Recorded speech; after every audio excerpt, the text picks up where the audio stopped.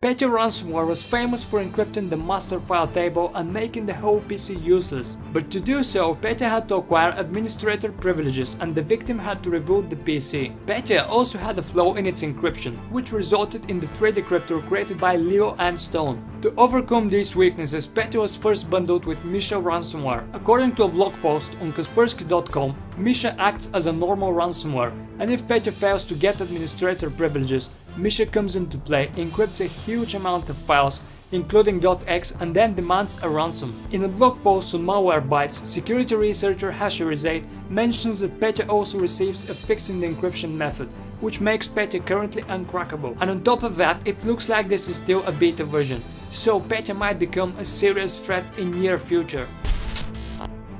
Thanks for watching and make sure to subscribe for cybersecurity videos on a regular basis.